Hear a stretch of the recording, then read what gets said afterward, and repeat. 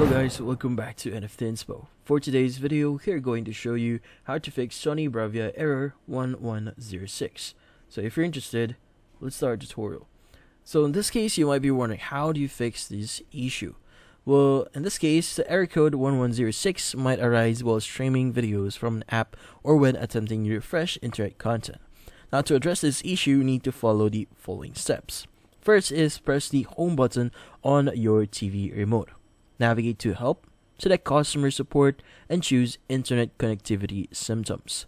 Press the Enter button to initiate the connection diagnosis, and your TV will display the diagnosis results on your screen.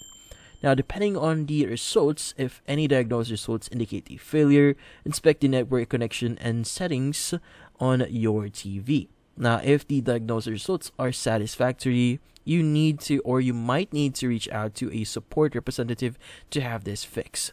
Now, sometimes resetting your uh, internet connection or your TV, like for example, turning it off and unplugging it for a few minutes and plugging it again and turning it on again, can actually solve this issue before reaching out to any support representative.